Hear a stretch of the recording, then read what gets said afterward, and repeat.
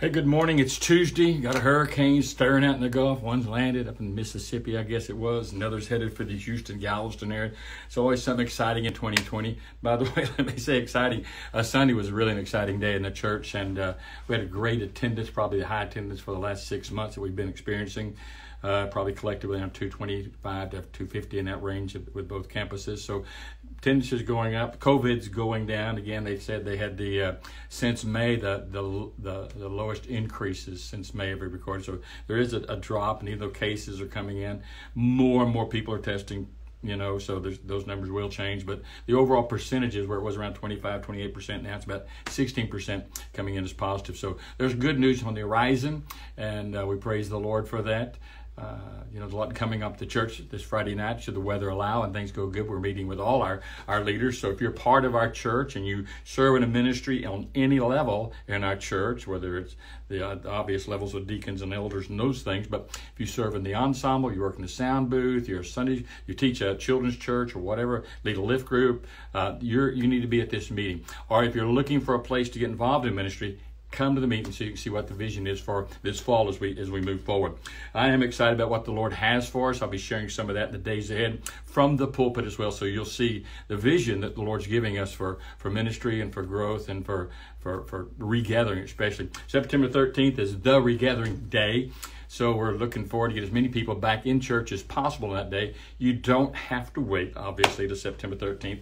Join us anyway and come on and be a part of the service. But uh, it's important that we all participate. We all be praying. We'll be having at least one or two prayer rallies prior to September 13th, which I will be announcing next week when they are. We'll do one in the Magnolia area. We'll also do one in the Spring area. It'll be a night of worship. It'll be a night of prayer and praise. So you don't want to miss that. Might even have some testimonies that we're sharing as well. So let me just tell you about those things. Uh, I'm going to show you a picture. I came across this the other day. This is me painting. And this is why I hire painters anymore.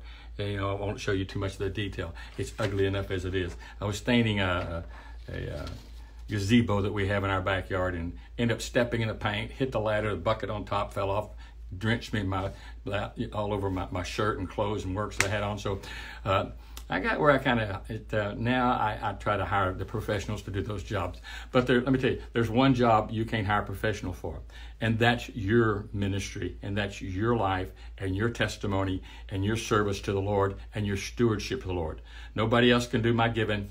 Nobody else can do my ministry. Nobody else can do my witnessing. Nobody else can do your witnessing. Nobody else can do your church attendance. Nobody else can do your participation. Nobody else can use your spiritual gifts for you. You're called to do those things yourself. So don't wait for somebody else to jump up the scene. Don't pray your pastor gets to do it.